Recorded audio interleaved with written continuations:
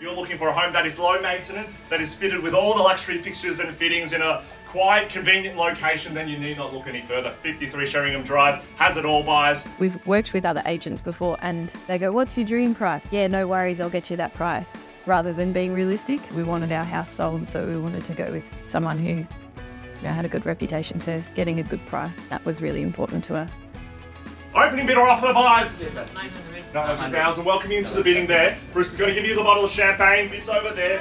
950, 950 down the back there. $950,000 now to $1 million over here. $1,050,000 now. My name's Matt, and this is Jess. The auction was awesome, just pushing those buyers up and up and up, and I think um, Bruce got, got the best result, so pretty happy with that.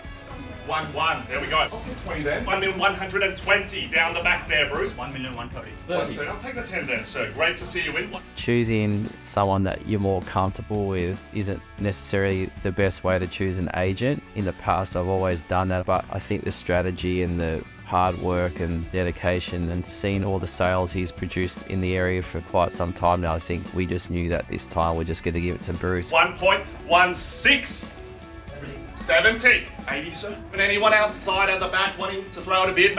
75. Look, I'll take the 5 then, since you are so nicely, sir. 1175. 80. 80 here now. Surely give you confidence wise. 1.18 and 85. 90. 95. We're on the market and we're selling away buys. 1,195,000. 1 2. Really happy with the campaign. I think you did a really good job getting lots of people through the door. Chasing up the buyers and finding the right people and chasing the right ones. We have experienced that to some degree in the past with other agents, but not to that level.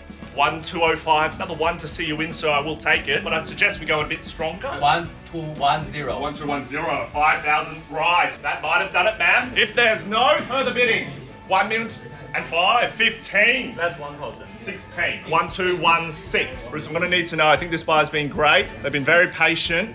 It's done then. Bruce, give me the okay. We're selling. What's the name? Sold! ah! Congratulations. Bruce, you, you did everything that you said you were going to do and you delivered. We all wish that we uh, could walk away and throw a massive party with all the money that we just made, but um, at the same time, we're just happy that we, we couldn't have chosen a better agent to, to sell the house for us. We understand that now. Good job, Bruce and the team. Thanks for all your hard work.